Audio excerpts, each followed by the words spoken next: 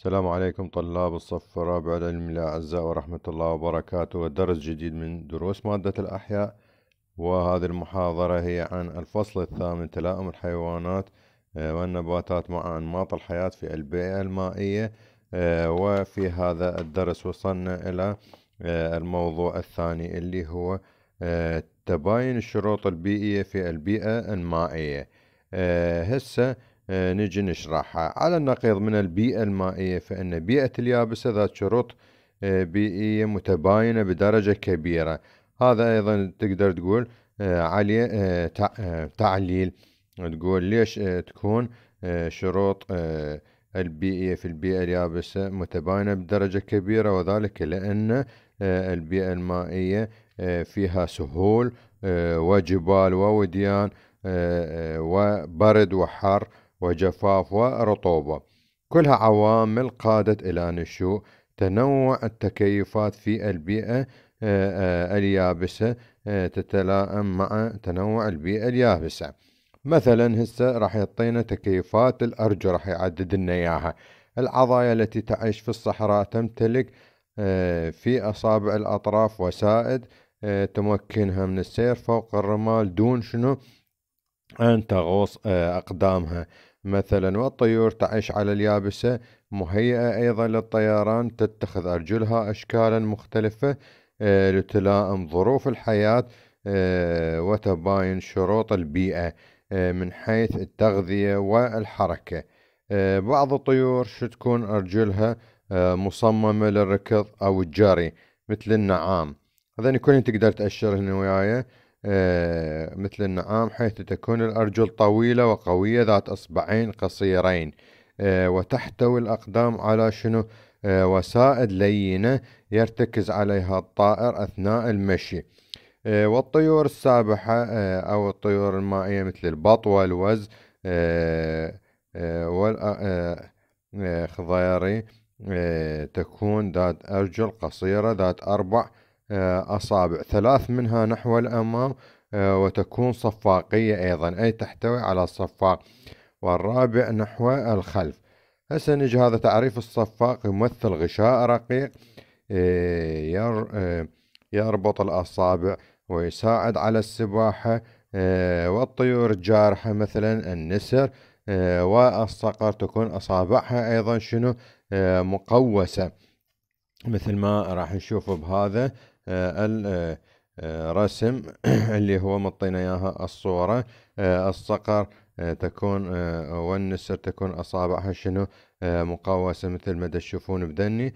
الأشكال وذات مخالب دا نشوفها مخالبها حادة يستعملها المسك الفريسة وتمزيقها والطيور الجارحة كذلك بعدين والطيور الجاثمة مثلا العصافير آه، وغيرها والبلبل والغراب. لها ثلاثة أصبع أصابع أمامية والرابع يكون آه، خلفي. آه، هذه مصممة جيدة للإنحناء حول أغصان الأشجار حتى تتمسك بها وفي الطيور مثلا المتسلقة مثل الببغاء ونقار الخشب وغيرها من الطيور يكون الأصبع الثاني والثالث مدبب. واتجاهه شنو؟ نحو الأمام. بينما يكون آه، الأصبع آه، الرابع آه، مدبب ومتجه نحو الخلف. شوف هذه بها شوية أكو اختلافات. ثلاث هن كلهن بهن أربع أصابع بس أكو منهن قسم ثلاثة نحو الأمام وواحد نحو الخلف وأكو بهن اثنين نحو الأمام واثنين نحو الخلف ويكون مدببات. هذا المدبب مالته حتى يستطيع أيضا التعلق ومسك الأشياء بيها. هسه آه، طبعا هذا الأرجل الصفاقية أرجل الوز آه، والبط والخضيرة شوفوا بها آه، مادة جلدية بين الأصابع تسمى بالصفاق. هذه حتى تساعدها على السباحة. هسه نجي إلى تكيفات المناقير. شن هي تكيفات المناقير؟ نجي هنا نشوف هان معدد لك إياها. كما تتنوع المناقير في الطيور حسب طبيعة الغذاء.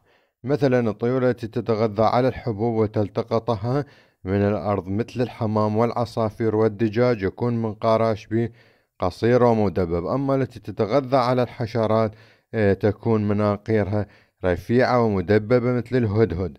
والطيور المائية التي تتغذى على الأسماك تكون مناقيرها شبيهة عريضة ومفلطحة مثل البط والوز أو تكون رفيعة مدببة مثل اللقلق ومالك الحزين.